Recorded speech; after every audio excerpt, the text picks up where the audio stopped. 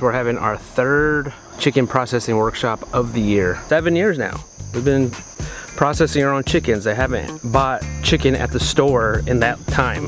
What's your name? Where are you from? Uh, my name is Kristen and I'm from Boonville, North Carolina. What brings you here today? Why, why do you want to learn how to chicken, do chickens today? Because we got to butcher our own here in about two weeks. that, yeah, that's a good so reason. who to learn from but from the best, so. Awesome, glad you're here. Just want to make sure the vent is cut off and then um, we're going to flip him over. Oh, you've got his tail so he doesn't have a an oil gland so I would just give him a really good rinse. And So what brings you here today? learning a skill. Yeah. Um, something that we've been looking at, getting close to retirement in the military, and it's kind of a lifestyle that you know we were looking at exploring. Yeah. Have you gotten meat chickens yet? Not yet. No. we're learning. We want to see if we could even do this. Right. Yeah, all right. Right. That's awesome. This hands-on is what we needed.